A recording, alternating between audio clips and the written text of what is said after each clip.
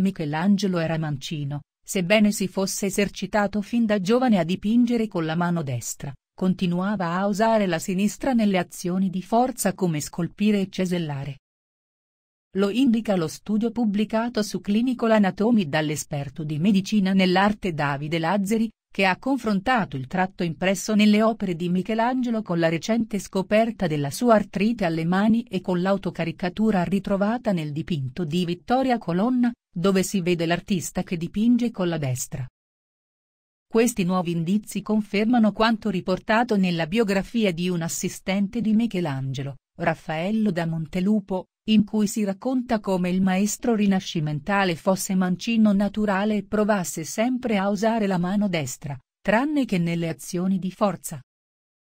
Le prove, spiega Lazzari all'agenzia di stampa ANSA, emergono dall'analisi del tratto dei disegni e dallo studio del 2016 in cui ho descritto l'artrite degenerativa che ha colpito la mano di Michelangelo, in particolare la mano sinistra come si evince dai quadri usata per i lavori di forza come scolpire e cesellare. Altro elemento suggestivo è che Michelangelo in giovane età intaglia e incide un crocifisso per l'abbazia di Santo Spirito in cui l'iscrizione è dipinta da destra a sinistra, molto probabilmente perché all'epoca era ancora più abile con la mano sinistra della pittura. Il continuo celare la propria natura era dovuto ai pregiudizi che al tempo che colpivano i mancini. Sicuramente questi pensieri erano ancora più forti per gli artisti che lavoravano a contatto con il clero, conclude Lazzari.